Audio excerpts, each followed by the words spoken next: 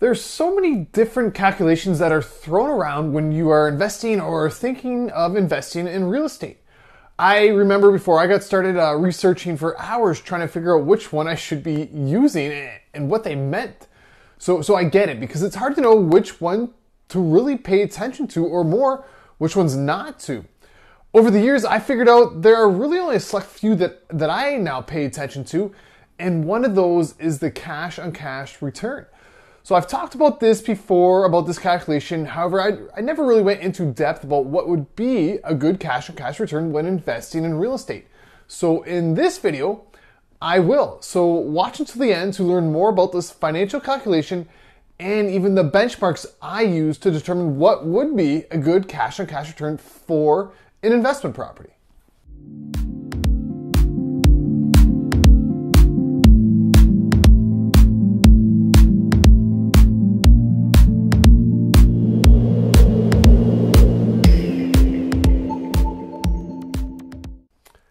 Hey, it's Tyler, 2015 CREW Magazine Investor of the Year and your real estate investing educator.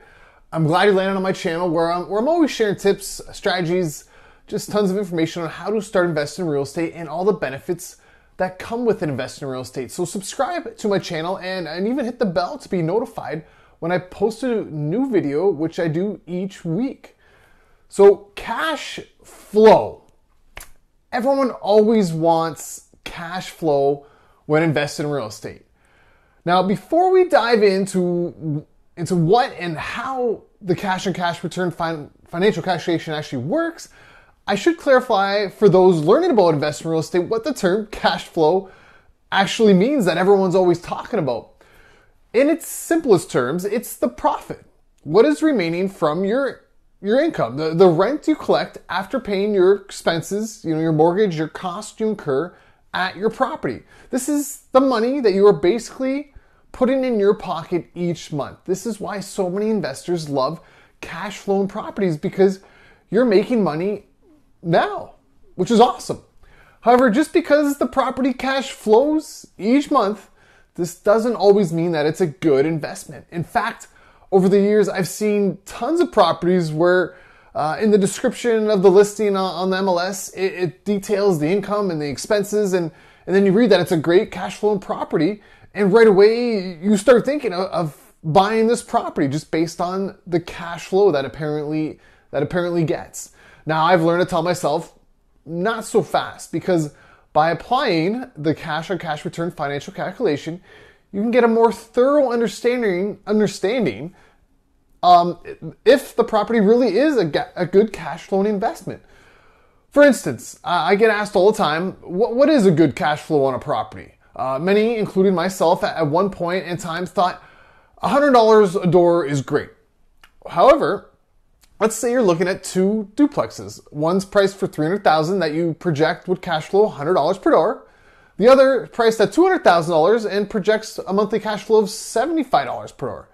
So if you were thinking in terms of the month, monthly cash flow amount, you'd automatically think that the $100 is better. The $300,000 property is better.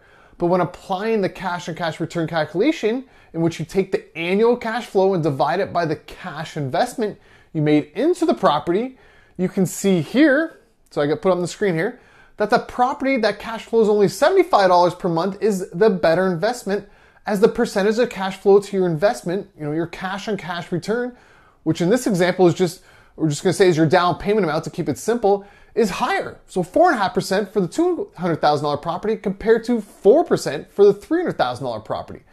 This is why you can't just use a simple benchmark of $100 cash flow per unit. You need to measure your cash flow against the cash you invested to really determine which property will provide the best return. In my example, it was probably obvious that the $75 per month would be the better investment. However, if you were to start factoring in um, possible renovations that a property would need, that in essence is additional cash you are investing, which will then affect your cash and cash return.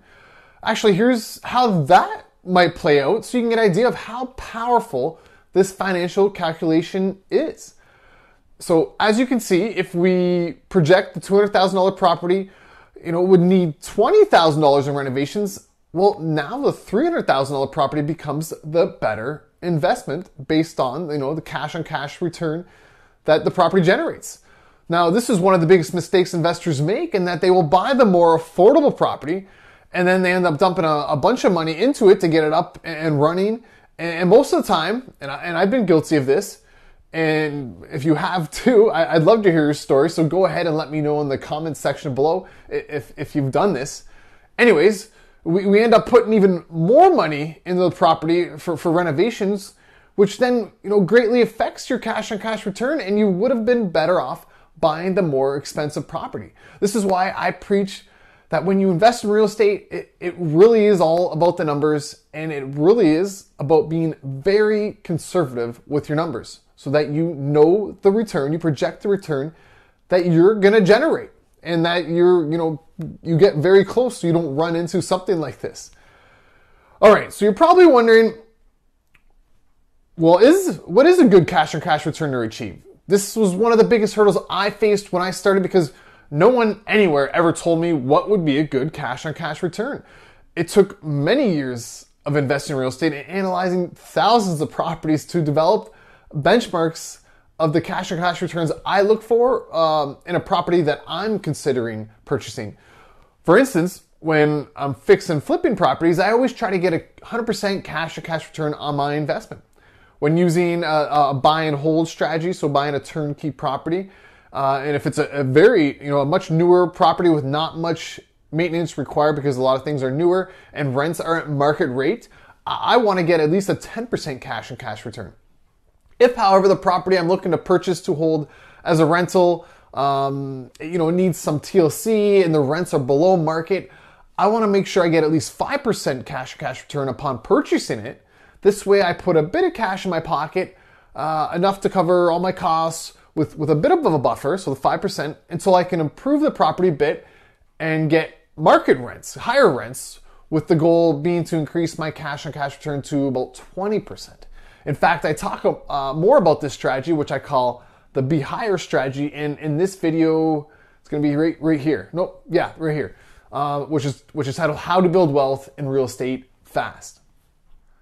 All right, if you want to learn about all the benchmarks I use when investing in real estate and even the spreadsheets I use, which which uh, instantly will calculate the cash cash financial calculations for you, among the others that I also um, use when I'm investing in real estate, uh, which I talk about in this video here. Just just click. Um, actually, no, actually going to be below in the link below. Uh, you uh, where you can download uh, my fast investing roadmap.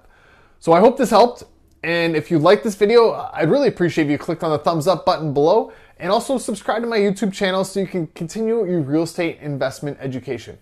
Lastly, be sure to check out some of my most recent videos right here. I mentioned one earlier. Uh, there's gonna be one here to my to my left or right to learn more about how to invest in real estate. Thank you, and we're gonna see you at the next one.